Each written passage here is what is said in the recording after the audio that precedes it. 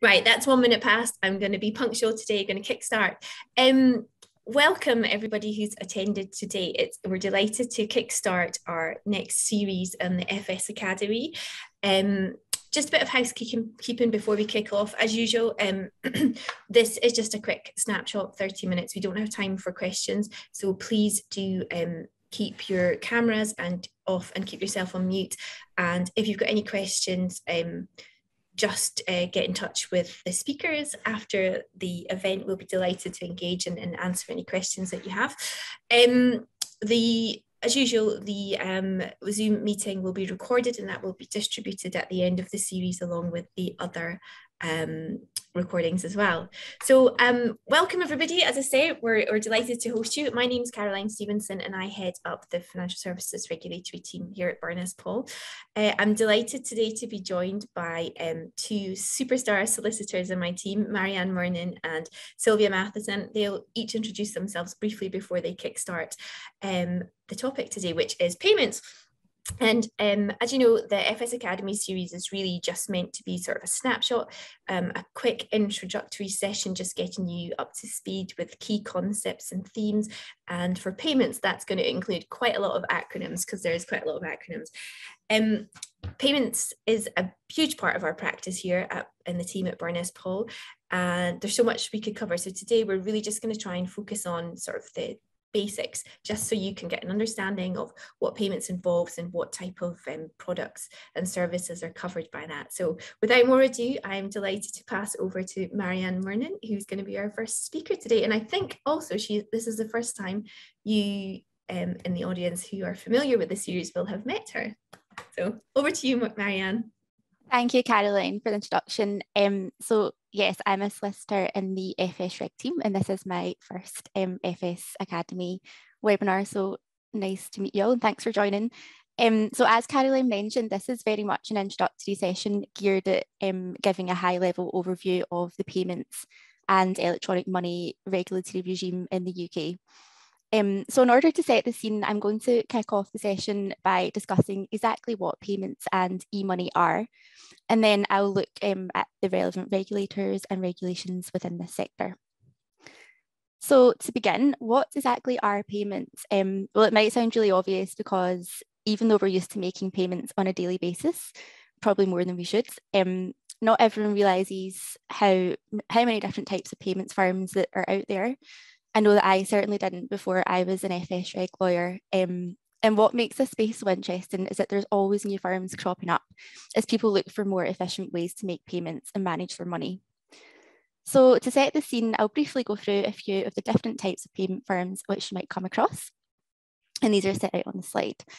Um, so to begin, we have merchant acquiring firms or merchant acquirers, which are financial institutions which will have a relationship with a merchant or retailer in order to enable them to process their customers' credit and debit card transactions when they purchase goods or services, and they'll collect the payment on their behalf. So examples of merchant acquirers would be companies such as WorldPay and Stripe. We also have money remittance firms, um, which is essentially a business involving the process of taking funds from a payer and passing them on to a payee or that payee's payment service provider. An example would be MoneyGram or Western Union. We have card issuers, which includes non-bank credit card issuers, um, which would include firms such as Aqua, the credit builder card, which you might have heard of. Um, we also have account information service providers, and these are companies which allow you to see all of your payment account information from different bank accounts in the one place. Um, so a good example are companies which offer budget planning apps such as Mint or Emma. And then finally, the last on the slide is um, another type of firm called or known as uh, firms known as payment initiation service providers. And these essentially offer alternative ways for customers to pay for goods or services um, so when using a payment initiation service, consumers give consent for a third party to connect to their bank account and they'll initiate the payment on their behalf without the need to input uh, card details. An example of this is Payit, which is offered by NatWest. And the last two I've discussed are forms of open banking, which have been brought into the scope of regulation in recent years. Um, so separate to payment service firms, we have electronic money institutions or EMIs, and these offer um, e-money services. So what exactly is electronic money? We'll look at the definition under the regulations shortly. However, essentially e-money is prepaid money stored electronically on cards, devices, or online systems and used for the purpose of making payment transactions. Um, and e-money, this includes online services, which you'll likely have heard of, such as PayPal, Revolut, and Tide. Um, e-money subject to a slightly different regulatory regime from payment service providers, which we will come on to. But first, I wanted to set out who the regulators are. So the primary regulator for e-money and payment services is the FCA. The FCA has responsibility for authorising firms to carry on regulated payment and e-money services and supervises their compliance with the regulations. And if firms don't comply, then the FCA can impose fines and sanctions. There's also the Payment Systems Regulator, which is an independent subsidiary of the FCA. It was established um, by the Financial Services Banking Reform Act back in 2013 with the intention of increasing competition in the payment sector. So it was set up specifically to regulate payment systems operated by payment scheme companies. Um, so companies which are currently within its scope are BACS, CHAPS, Visa and MasterCard, amongst others. The payment systems regulator has the power to set standards and issue directions, and it can sanction firms for non-compliance. Um, it's worth mentioning also that there's also the European Banking Authority, the EBA, which regulates and supervises the European banking sector, including the payment sector. I won't go into detail, um, but it's helpful to know that although the EBA no longer directs payment services in the UK due to Brexit, some of its guidance and principles are still relevant. And then I also just wanted to mention that um, the Bank of England is also relevant in this sphere um, due to its role um, in maintaining monetary and financial stability. So next, um, let's take a look at the regulations which apply. The two primary sets of legislation for payments and e-money are the Payment Services Regulations 2017, also known as the PSRs. And then we have the Electronic Money Regulations 2011, known as the EMRs. The PSRs and EMRs given, uh, govern the authorisation and associated requirements for payment institutions or electronic money institutions. They set out what services are in the scope of the regulations, and they also provide a list of exclusions. Many e-money issuers will be carrying on payment services in addition to, using, to issuing e-money, so they'll need to be familiar with both sets of regulations. So let's turn firstly to the PSRs. Um, these apply with certain exceptions to everyone who provides payment services as a regular occupation or business activity in the UK. So in part one, schedule one of the regulations, you'll find a list of activities which fall into its scope. Um, so let's take a look at what activities are regulated. So under schedule one, the regulated payment services are cash placed on or withdrawn from a payments account and the operation of the payments account. We also have executing payment transactions, so this would involve a payment service provider executing a transfer of funds from its customer to a payee's payment service provider. We have money remittance, which, as mentioned earlier, involves funds being passed from a payer to a payee. And the difference between executing payments and money remittance is that with money remittance, there are no payment accounts created in the name of the payer or payee. We also have issuing payment instruments, which essentially involves the issuing of a credit or debit card. There's acquiring payment transactions, um, which is the process of accepting and processing the payment transactions of retailers or merchants and settling funds to those merchants. And then lastly, we have payment initiation services and account information services, which as discussed earlier are open banking services. So um, those are the activities which are regulated. There are, however, a broad range of exclusions which are expressly set out in part two of, the, of Schedule 1 of the regulations. And this slide sets out a few of those. Um, there are more exceptions to this and I couldn't list them all, but um, yes, if you want to see them all, then you should um, go to part two of Schedule 1 of the regs. So firstly, we have an exclusion for transactions executed wholly in cash or on paper directly between the payer and the payee. So this would include the use of checks or vouchers. We also have what's known as the commercial agent exclusion. Um, so this covers payment transactions made through commercial agents acting on behalf of either the payer or the payee. We have the ATM exemption, which is an exemption for cash withdrawal services provided from an ATM, where the provider of that ATM has no relationship with the customer withdrawing money. There's an exemption for cash to cash currency exchange activities, for example, a bureau de change. Um, there's a cashback exemption, so the activity of offering a cashback service to customers when they pay for their goods at the checkout would not fall within the scope of the regs. Um, there's an exemption also for technical service providers, which simply provide IT support for the provision of payment services. So this would include um, activities like data processing, storage and authentication, and these will not constitute a payment service. There's also the limited network exclusion. So this is quite important. Um, it applies to payment instruments which allow the holder to acquire goods or services in the issuer's premises only can only be used within a limited network of services and can only be used to acquire a very limited range of goods or services.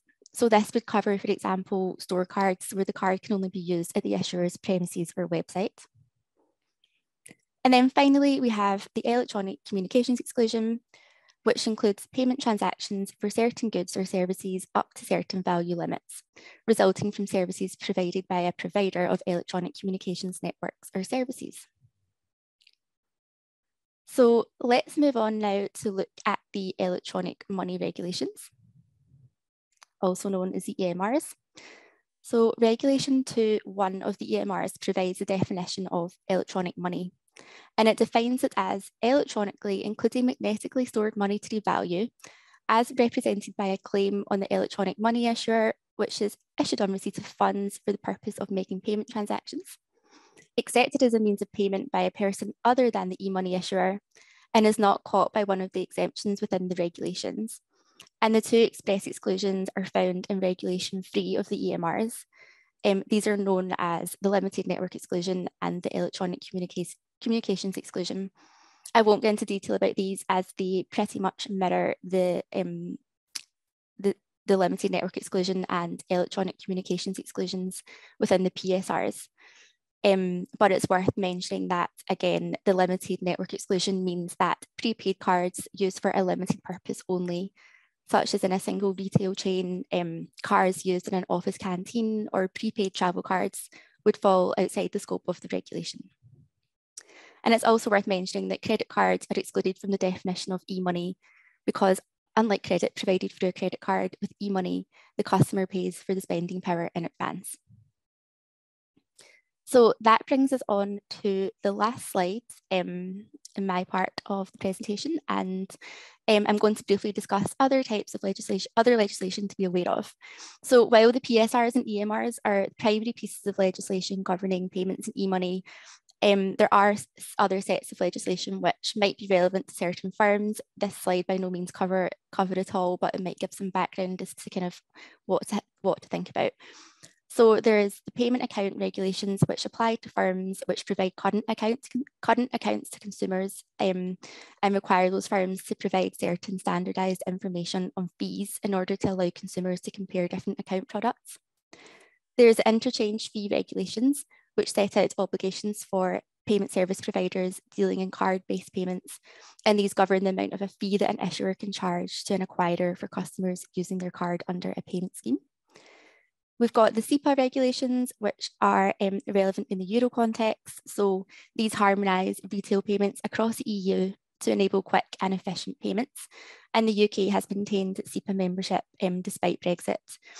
And then finally, there's money laundering regs, um, which all payment service providers and e-money issuers must comply with to counter the risk that they're misused for the purposes of money laundering and terrorist financing.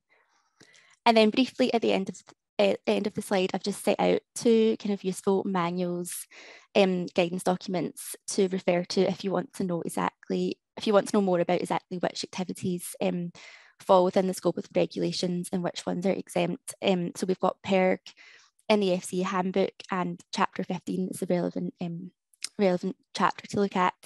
And we've also got the FCA payment services and e-money approach document, which goes into a lot of detail as to how the FCA expects firms to comply with the rules. So hopefully that was helpful in setting the scene um, and I'll now pass you to Sylvia, who's going to discuss safeguarding and future developments in the regulatory landscape. Thanks, Marianne. Um, so just to give you a quick introduction, I'm Sylvia, I'm a solicitor in Burness Paull's Financial Services Regulatory Team. So, and if you joined our FS Academy Spring series, you would have seen me, and it's good to be back for the Autumn series. So now Marianne has given us a comprehensive overview of payment services and e-money, the key legislation to be aware of and the nuances around this sector. I'm going to pick up on an area which continues to be a priority item for regulators. As Marianne had mentioned, it, um, it's safeguarding, safeguarding around payment services and e-money. And the reason we see it continuing to be a focus area for the regulator is that payment services and e-money are high growth areas. We're seeing ever evolving business models, fast moving technology, not to mention high volumes of consumer funds. This explains why regulators are concerned with any perceived lack of consumer protection or lack of robust prudential requirements for these non-bank service providers. So safeguarding requirements are in place to ensure that firms protect customer funds by creating a segregated asset pool of relevant funds from which to pay the claims of e-money holders or payment service users. And these will be in priority to other creditors if the payment services provider goes into insolvency. So what are the safeguarding requirements for e-money firms and payment service providers? Well, these are governed by the electronic money regulations, the EMRs, and the payment services regulations, the PSRs, as Marianne has already given us an intro to. And under both sets of these regulations, any identified what is known as relevant funds will be sub subject to the safeguarding requirements under either the EMRs or the PSRs. So at a high level, relevant funds under the e-money regs are funds that have been received in exchange for money that has been issued. Under the payment services regulations, relevant funds include funds received from or for the benefit of a payment service user or on behalf of for the execution of a payment transaction. It's worth noting that in both instances, relevant funds can be received from third parties, for example, a client of the payment service user. So the next question is who has to comply with safeguarding requirements? Well, small and small payment institutions are not obligated to meet the safeguarding requirements. However, there's the option for these small PIs to comply voluntarily, and many will as they're looking to upscale. It paves the way for future expansion. Although any opt-in that they do choose to do voluntarily will have to comply with safeguarding requirements and it would need to be notified to the FCA and also in annual reporting returns. Large payment institutions are required to meet the safeguarding requirements and any size authorised e-money institutions are also required to meet the safeguarding requirements. So now we know who has to comply, but what do firms actually need to do? So there are two ways. Firstly, segregation. Secondly, insurance or comparable guarantee. Under segregation, relevant funds will be held separately from any other funds a firm holds, and at the end of the day must either be deposited, deposited in a segregated account, which must be with an authorised bank or the Bank of England, or if it's not deposited in a segregated account, the funds can be invested in an FCA approved, an FCA approved liquid assets held with an authorised custodian the FCA has made clear under no circumstances should funds be kept together overnight. So that's segregation, one form of safeguarding. The other form is by insurance or comparable guarantee. And this would involve the payment institution or e-money institution to be covered by an insurance policy with an authorised insurer or a guarantee with a credit institution. Safeguarding doesn't stop there. E-money institutions and payment institutions are expected to conduct ongoing oversight and management, including ensuring adequate internal controls are in place to manage effective accounting, oversight and risk management. An appropriate individual with sufficient experience and knowledge should be appointed to oversee the systems and controls in place. And firms are also expected to carry out reconciliations. Both internal and exter external reconciliations should be performed to verify that the funds held as safeguarded match with the firm's records. This, of course, involves keeping accurate and timely records of safeguarded funds. And the FCA has clarified that an institution should carry out internal and external reconciliations as often as necessary, considering the risks to which that particular business is exposed.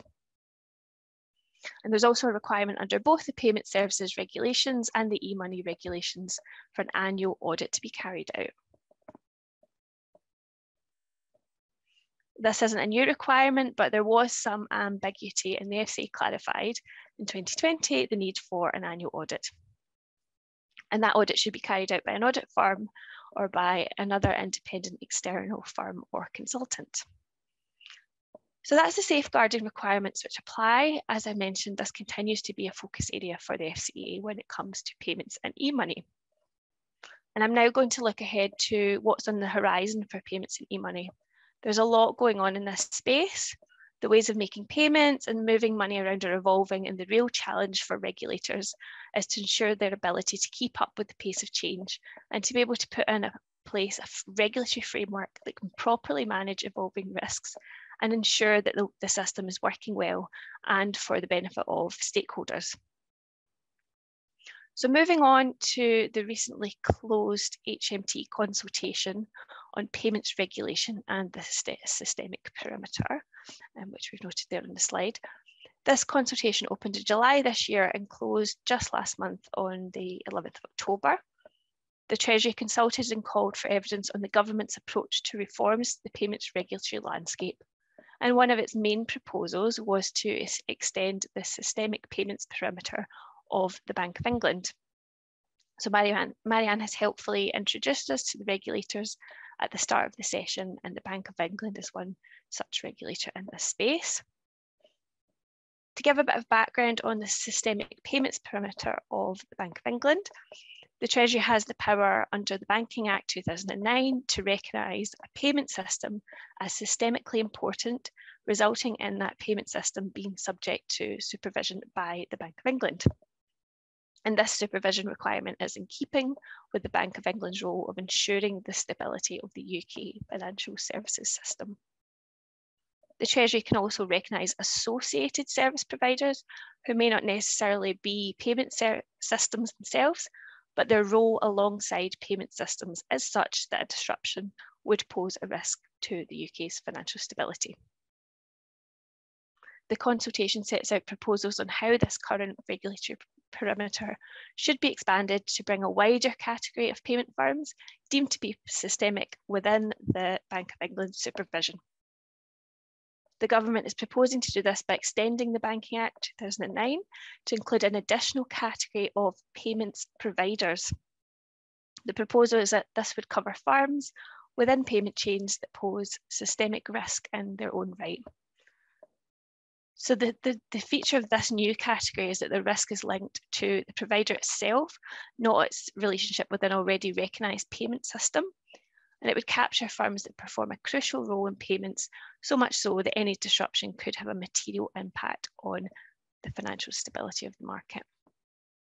We don't yet know what type of firms would be caught under this new category, potentially large payment processors, facilitators, pass-through digital wallets.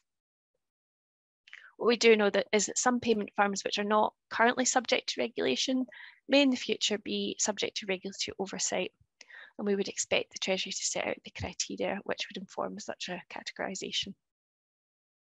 If the systemic payments perimeter is extended as proposed, this could mean dual supervision for firms by both the Bank of England and the FCA.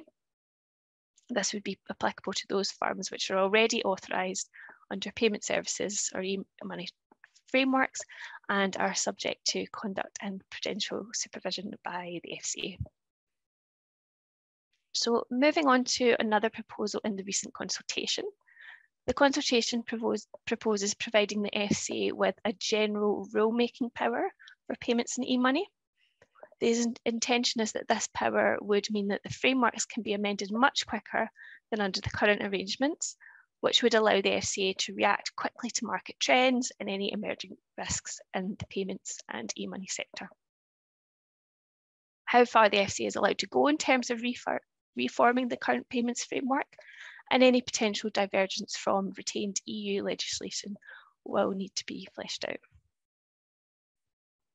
Another proposal in the consultation that I wanted to, to discuss is the proposed amendments to the Senior Managers and Certification Regime, which I'll refer to as SMCR because it's a little bit easier.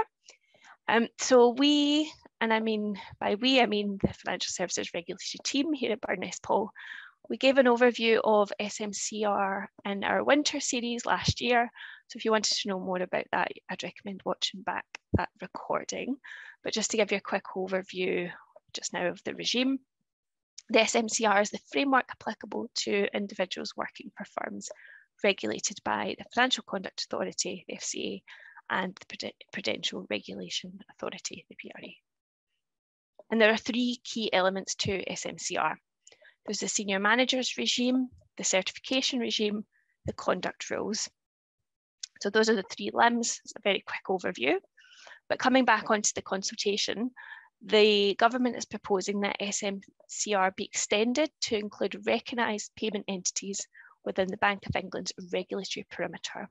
So it would encompass those payment entities which we've discussed, which fall within the Bank of England's regulatory perimeter. The consultation also seeks views on whether the SMCR could cater for a differentiated treatment of the various actors in a way that would be commensurate to the firm's size, reach, and risk profile. And the FCA has also indicated its approval for extending SMCR, advocating that extending the SMCR to the payments and e-money sector could enhance individual accountability and governance within firms and also strengthen the FCA's ability to supervise such firms by providing the regulator with a wider range of tools to drive higher standards and mitigate consumer harm related risks. And that's everything I wanted to speak about in terms of the consultation on payments regulation and the systemic perimeter. Um, I've just got a couple of minutes. I'm going to very quickly look at the recent proposals for dealing with auth authorised push payments, APP fraud, Again, this is something you may already have heard us discussing in our FS Academy Spring series. And it would seem remiss not to discuss APP fraud in the context of payments. So firstly, what is APP? An authorised push payment is where a payer, often an individual consumer, instructs their payment service provider to send funds from their account to another. These payments are typically executed via CHAPS or faster payment service. An APP fraud is where the payer is tricked into making an APP to an account controlled by someone who's not the intended recipient, fraudster. And APP fraud has risen significant, significantly in very recent years. In the first half of 2021, cases rose by 71%. And for the first time, this type of fraud overtook card fraud in terms of the amount of money stolen. So in response, the Payment Systems Regulator published a consultation in September this year, which closes later on this month, setting out proposals for dealing with APP scams. A key proposal is to require payment service providers to be mandated to reimburse customers who fall subject to an APP fraud scam, noting that there would be limited exceptions, such as where the consumer is involved in the fraud themselves or where they have acted with gross negligence. And also proposes that the sending payment service provider, so that being the provider of the account the payment is made from, will have to reimburse the victim as soon as possible and no more than 48 hours from the fraud being reported. Additional time would be granted if the PSP had evidence or reasonable grounds to suspect fraud on the part of the consumer or gross negligence. And the regulator notes that currently of those payment service providers who already reimburse customers, it's generally the, generally the sending PSP which picks up the cost of reimbursement. And the consultation proposes that reimbursement should be shared equally between the sending and receiving payment service providers although firms are permitted to use a dispute management process to adjust the allocation between them, which can be reflective of the steps each firm took to prevent the scam. So on the face of it, this is welcome news for consumers. However, as payment service providers grapple with putting the necessary procedures in place to mitigate their potential losses, this could mean a step back for consumers in terms of the ease in which payments can be made, especially those of high value. Is also more likely to impact on smaller payment service providers and new entrants to the market. It's certainly something we will be keeping an eye on in the coming weeks and months. So I've just gone a minute over, um, but with that, I'll bring I'll bring to the end the first session of our FS Academy Autumn series. It's good to be back. I hope you've enjoyed it. Um, please do join us next week. Our next session is on enforcement and compliance. So we'll be looking at what tools the regulator has when it comes to taking action against firms for non-compliance. In the meantime, do get in touch if you have any questions, queries, and we will hopefully see you next week. Thank you.